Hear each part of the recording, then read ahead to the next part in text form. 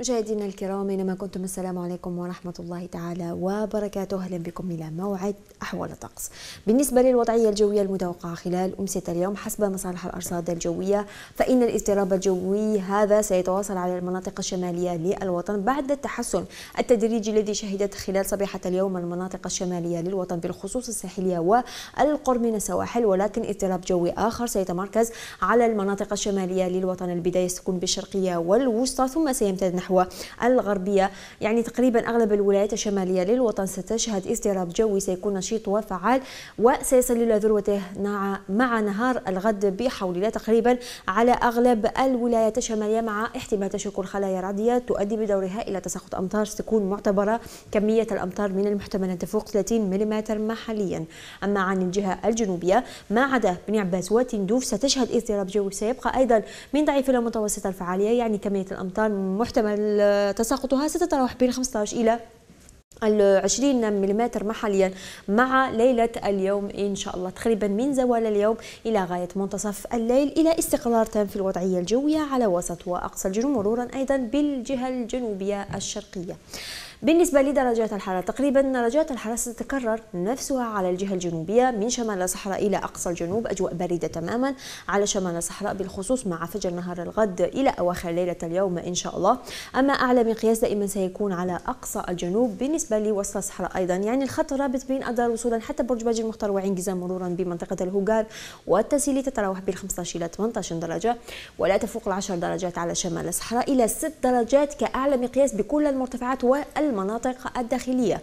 أما فيما يخص المناطق الساحلية سترتفع نوعا ما عن معدلها الفصلي من درجة إلى الدرجتين تتراوح بين 12 إلى 13 درجة مع نسبة رطوبة ستكون عالية.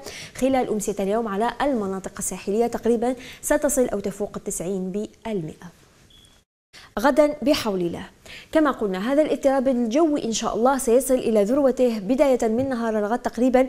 بداية من منتصف نهار اليوم الغد أقول إن شاء الله على الجهة الشمالية للوطن بالخصوص المناطق الساحلية. هذا الاضطراب الجوي سيتمركز على الجهة الوسطى بالدرجة الأولى سيكون مرفوع بأمطار تكون معتبرة سيكون سريع ونشيط. كمية الأمطار ستفوق 30 من المحتمل أن تفوق أيضا ال 50 ملم محليا على المناطق الداخلية للوطن. بداية من زوال نهار الغد إن شاء الله مع تشكل أيضا خلايا رعدية منعزلة تقريبا ليلة الغد إلى ليلة اليوم. أيضا على المناطق الداخلية للوطن. أما الأجواء على الجهة الجنوبية بعد تلاشي بعض الغيوم الجزئية المتشكلة على الجهة الجنوبية الغربية ستتلاشى وتصبح الأجواء تقريبا على أغلب الولايات الجنوبية. صافية على العموم ما عدا شمال الصحراء أيضا أين سيلتحق بها اضطراب جوي بداية من منتصف نهار الغد. يعني بداية تقريبا مع أمسية الغد إن شاء الله سيلتحق بها الاضطراب الجوي ولكن سيكون تقريبا آه، ضعيف نسبيا.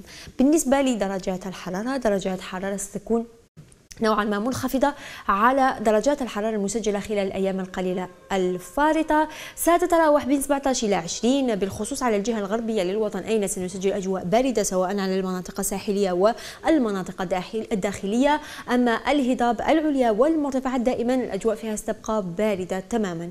خلال صبيحة وخلال الأمسية والأجواء ستكون أكثر برودة مع فجر يعني نهار اليوم إن شاء الله. أين لا تفوق العشر درجات أقول خلال فجر اليوم إلى أن تزداد تدريجيا وستصل بين 11 إلى 13 درجة.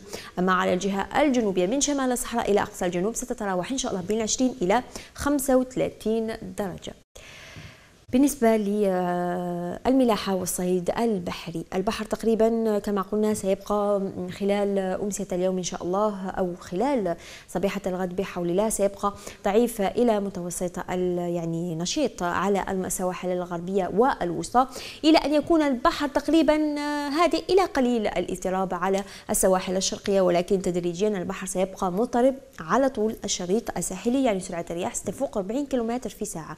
من المحتمل أن يصل علو الأمواج إلى المتر أو المترين بالخصوص على السواحل الوسطى.